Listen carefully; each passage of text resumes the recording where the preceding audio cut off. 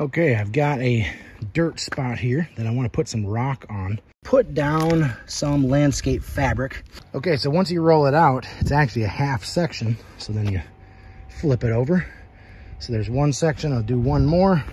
Should be able to cover and then make sure I overlap right here. That's what these green lines are for. And should be good to go. And once you get the ground cover down, you can then lay your rock down and there won't be any weeds or trees or grass or anything that will grow through. And then it looks really nice with the rock covered up over it. Can highly recommend this product. Definitely pick up a roll of this.